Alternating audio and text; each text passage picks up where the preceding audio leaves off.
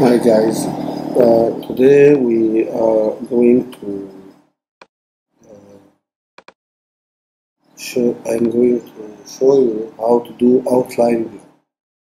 So let's do this I'll change the font and do a good font which can go with uh, like Century Gothic.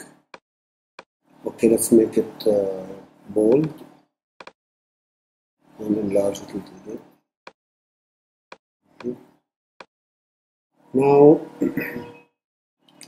create will create outline and start to choose the stroke and add extra stroke from the appearance.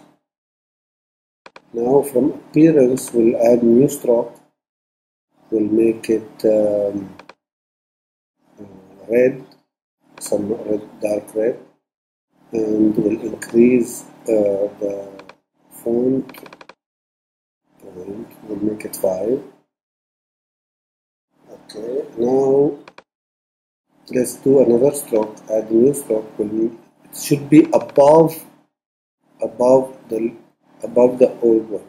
And make it 3 and lighter color. Now you can see how lighter color 3 that 3 point and the other one is the and all is one stroke. When you select it is one stroke. It's not like extra it's like okay. Now we'll add new stroke. We'll make it uh, two. Two point. And we'll change the color to lighter one. You can use any color you want. So just I'm just showing you how to do the colors we'll add a new, stroke also. And one point and different color.